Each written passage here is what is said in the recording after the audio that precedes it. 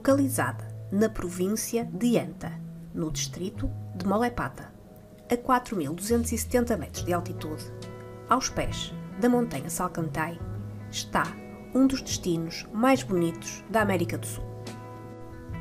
A Lagoa de Umantai, formada pelo degelo das montanhas ao seu redor, ostenta uma cor que varia entre o verde esmeralda e o azul turquesa. Mas não é fácil chegar a este paraíso. Estamos agora a 3.800 metros de altitude. Começa aqui a trilha que nos vai levar até ao lago de Umantai. Lá estaremos a 4.270 metros. Vai ser sempre a subir.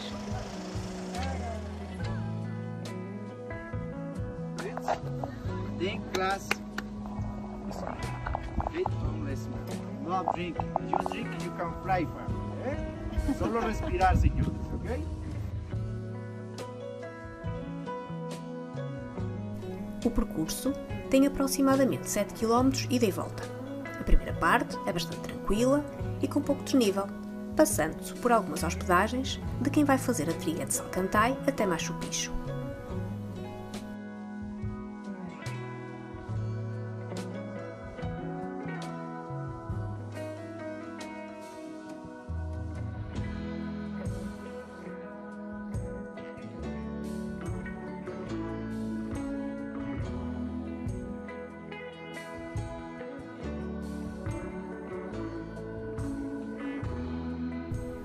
Mas cerca de um quilómetro depois começa a subida.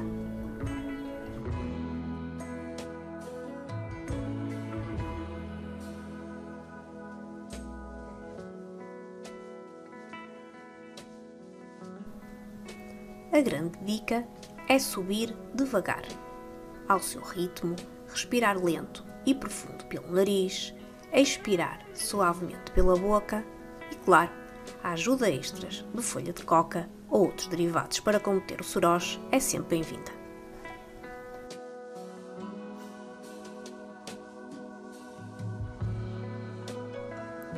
Há também quem tenha outro tipo de ajuda. Vão a cavalo.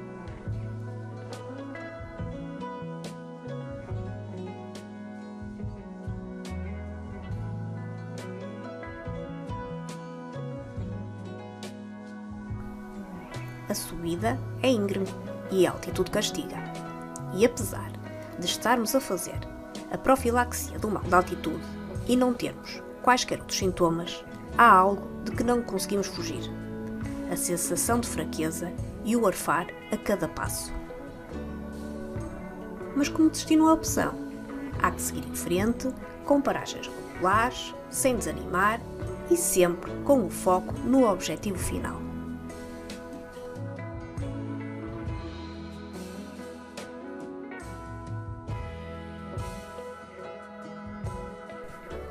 Além do esforço físico suplementar, estas subidas são também um verdadeiro desafio à nossa capacidade de superação.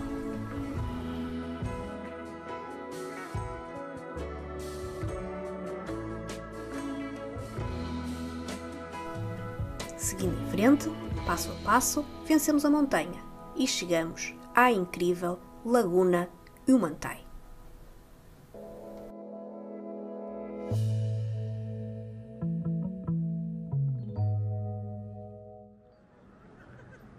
Chegamos aos 4.200 metros de altitude. Estamos nós aqui na Lagoa de Umantai. A subida não foi fácil. O coração, a certa altura, parecia que. Olha. E chegamos. A subida, a subida não foi fácil. A altitude castiga, o coração parece que a certa altura vai querer sair pela boca, mas podem ver, as vistas compensam.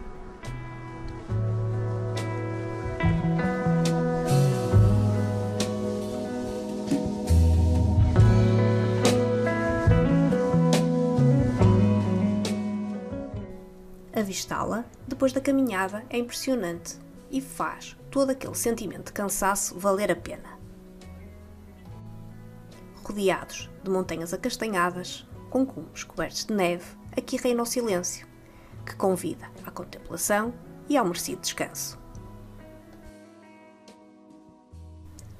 O tempo de permanência que nos é dado na lagoa, antes de voltar a descer, é de cerca de 45 minutos. Sim, é pouco tempo para tanto esforço e passa rápido para apreciar toda a beleza daquele lugar.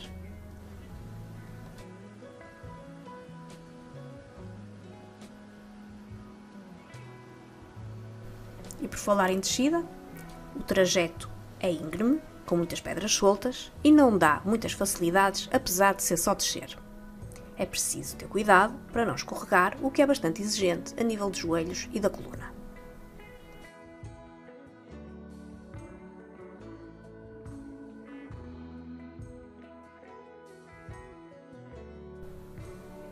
Mas o que conta é que na memória trazemos a imagem de uma das paisagens mais bonitas do mundo.